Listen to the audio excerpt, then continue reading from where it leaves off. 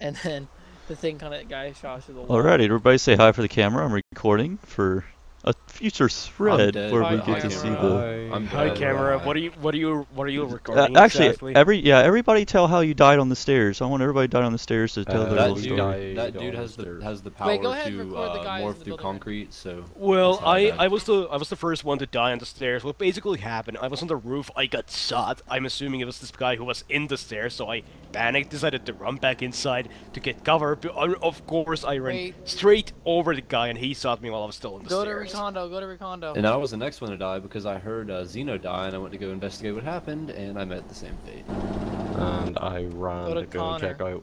oh God, he's getting, he's up. going there too. watch, Uh, watch Connor. Oh God. uh, Wa- I ran Connor, to watch check. him. Oh god. Oh, he, Oh. oh. he's smart. He's smart. Did he kill him? Yeah, he got him. What? He's just shooting at the wall, and there's blood spurting out.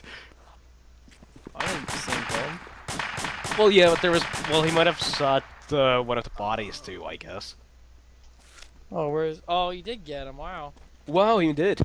Smart guy. Good job. Lucky bastard.